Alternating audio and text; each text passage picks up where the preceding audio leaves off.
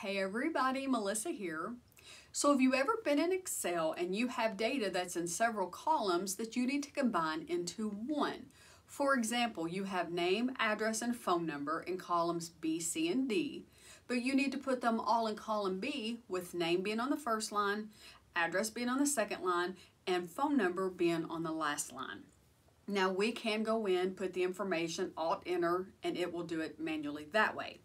However, today we're going to look at some formulas and functions that will allow you to do that automatically and make your life and your job a whole lot easier.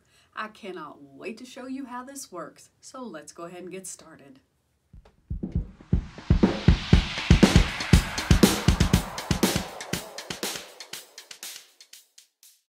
So here we have some data. We have fruit category, quantity, and the set of instructions telling us how many they want in half, quarters, wholes, and where we're shipping them to. Now, before we get started with this, I'm going to show you how to do a little bit of pre-work because this information did not come to me like this, so I'm going to show you how to get it into this format. So this is how the data came to us fruit category, quantity, and then all of our instructions are in one line. Well, that makes it a little bit harder to do what we need to do. So the first thing I'm going to show you is how to take this data and put it into three separate columns. So the easiest way to get our data into three separate columns is using text to columns. So what I'm going to do is select all of our data in column C, so control shift down, and then we're going to go to data and we're going to go to text to columns.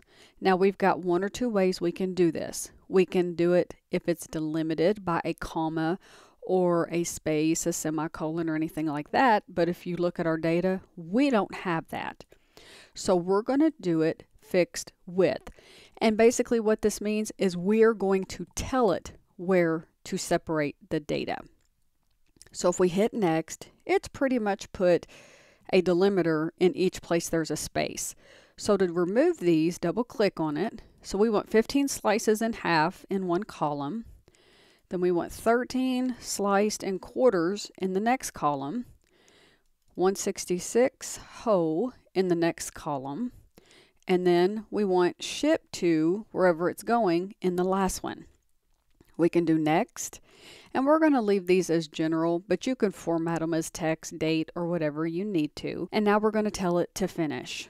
And if you look, it has now separated it into our columns, which is what we're going to see back on sheet one. So let's go ahead and hop back over there. So this is what our data looks like after we do our text to columns, or it may come to us looking like this. So now we want to join the data or link the data, combine the data into one column and put each of these on a separate line. So what we're going to do is use the function concat, which is short for concatenate, which actually means to link or join. So the first thing that we want to do is make sure that we have wrap text on, otherwise this is not going to work. So on your home tab, just make sure wrap text is on. And now in our first blank data cell, which in this case is G2, we're going to type in equals concat and we're going to open parentheses. Now, what we're going to tell it is what is the first thing that we want to see? Well, we want to see apples first. And you don't have to go in this order. You can say, I want to see this one first, or I want to see this one first. But in this case, it's going to be pretty linear. So we're going to tell it apples. Then we're going to do a comma. And the next thing I'm going to enter is C H A R, and I've heard that pronounced chair, car, char. Um, I'm going to call it care, and you may hear me alternate back and forth because it's short for character. And I'm going to open another set of parentheses. It's asking us for a number, and I'm going to tell it 10. Now, what care 10 does is it tells Excel to hit that Alt Enter and take this to another line. We're going to put another comma, and we're going to tell it what we want next. Now, I want quantity next, but I just don't want it to be apples to 11, 15, 30. I want to kind of put a delimiter in front of this to make it almost like a bulleted list. Now, you can use an asterisk, you can use a circle, you can use whatever you want. I like to use hyphens. So what I'm going to do is I'm going to open a set of quotes, put a hyphen, close the set of quotes, put a comma, and then what do we want to see next? we want to see the quantity. So let's break this down. So basically what we're doing is telling Excel to list A2, which is apples on the first line, hit Alt Enter to start another line, give us a hyphen, and then the quantity, or 211. So let's go ahead, close the parentheses, and hit Enter and see what this looks like. Now you're probably looking at this going, oh, it didn't work. What did I do wrong? Nothing. We just need to expand this so that we can see our lines. And there you go. It's done apples hyphen 211. Now let's go in and let's do a few more. So we're going to put in a comma.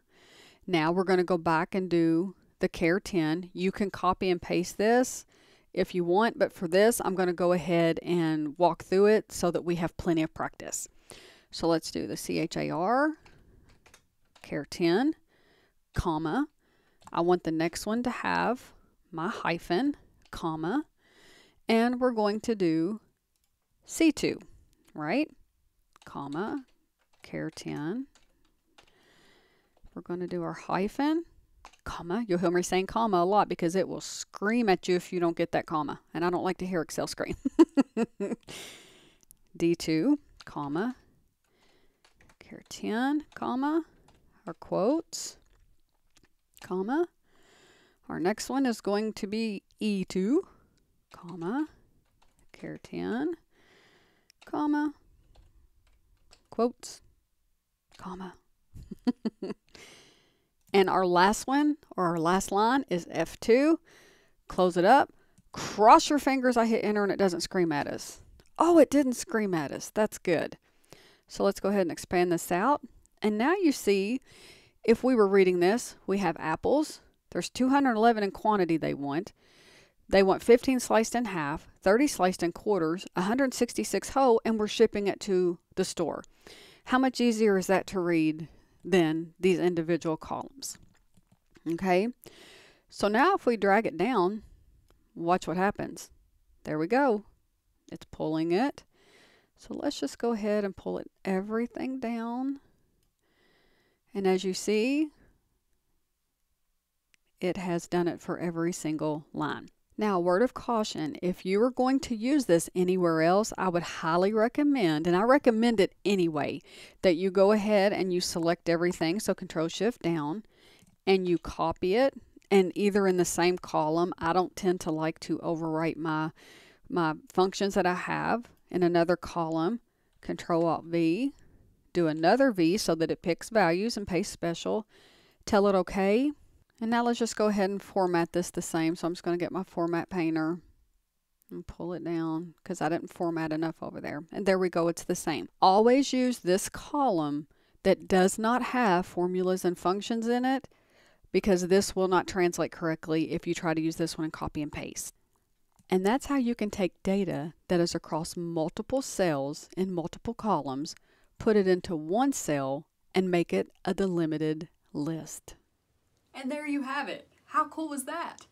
Now you can tell Alt-Enter to take a hike and have a little bit more automation in your life, which is going to make it a whole lot less stressful and your job a whole lot easier. If you found this video helpful, please be sure to give it a thumbs up. Drop me a comment if you have any questions, feedback, or ideas for a future tutorial. And be sure to hit that subscribe button before you leave. And I'll see you in the next tutorial. Until then, thanks so much for watching.